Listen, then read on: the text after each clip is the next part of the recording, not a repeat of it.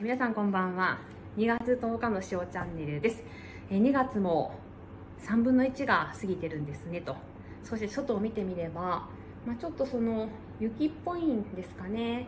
今日はあの都心でも雪が降るのではないかというか積もるのではないかというふうに言われておりましたが、まあ、パッと見る限り現状は積もるような感じはないですね。これから夜さらに気温が下がった時にどうなるかなというふうに思っているんですが現状は、まあ、帰る時までは大丈夫そうですね。まあでも寒そうです、はい。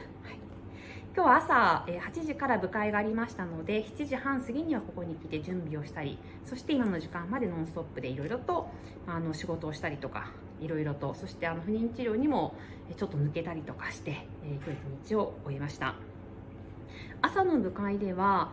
まあ、そうですねあの公務員の方々のあの給与に関する一法律の一部を改正する法律案が出てくるということで、まあ、そのヒアリングを行いました、まあ、人事勧告に基づいてですね、まあ、ボーナスの部分が少し下がるということになっています。私はあの公務員の方々の給与を上げるべきだというふうに思っているので、まあ下げるという部分はなかなか賛成しづらいんですが、まこれはですねあの人事院の勧告に従って民間がぐっと下がってしまっているので、まそこに合わせようというものですのでまあ、致し方ないというふうに思っています、えー、公務労協の方々のお話も聞かせていただいたんですが、まあ、組合側もですね速やかな成立をということでしたので、まあ、皆さん、え納得をしているということです。はい。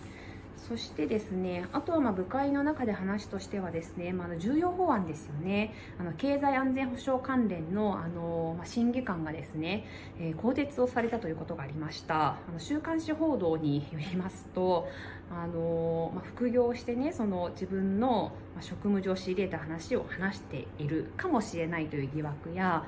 最近経済安保ですごくいい記事を書く新聞社がいるよねっていうところの、えー、まあ、女性の記者と、まあ、不倫をしていたとか、まあ、そのようなスキャンダルが週刊誌に掲載されました、まこれはあの本当に問題なんですよねと。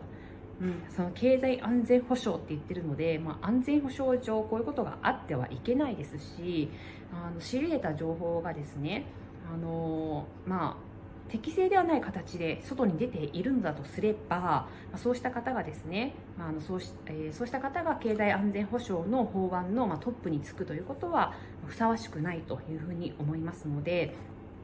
まあ、政府側も速やかに移動させたと。えー、経産省に戻っていただいたということでしたでまだまだそのどのような内容が外に漏れたのかとかまあ、そうした内容を今確認中ということでしたので、まあ、全てが明らかになった時に、まあ、正しいその、まあ、対応をしていくというお話でした。おそらく何らかの処分が下され下されるのではないかというふうに思っているところですと。はい。え、そして今日はデジタル PT の私役員ですので、まあ、役員で勉強会をしました、えー、国会は今なかなか今あの議論があまり進んでいないというか憲法のお話になってきていて本来憲法の話ではないんですがあのオンライン議会の話まずは、え地方議会、こちらを法案を出したいということで勉強しました。あとは在外投票ですよね。これもデジタル化すればですね、え皆さん、あのもっとスムーズにですね、投票権を行使することができますので、海外にお住まいの方、こうしたことも実現させていきたいということで、しっかりと勉強させていただきました。はい。あ、だいぶ雪が止んでますね。明日積もるのかななんて思ってたんですがもしかすると積もんないかもしれないですね。で予定表を見た時にあ明日何も入ってないんだと思ってこれだったら明日事務所をあの閉めることができるかなとうん。まあ、土日働土曜日か日曜日出てもらってることもあったりとかしますから、まあ、結構休んでるんですけれども、はい、あの事務所1日閉めてもいいかなと思ったんですが雪だしそしてコロナもあるしリモートワークだしとか、まあ、そういうのもあったんですがどうやら明日は休日のようです。忙しいといつ休日なのかもわからなくなってきました。はい、えー、来週も頑張りたいと思います。土日はまだちょっといろいろやることもあって完全なおやつお休みはできないんですが来週も気合を入れて頑張ってまいります。それではまた来週。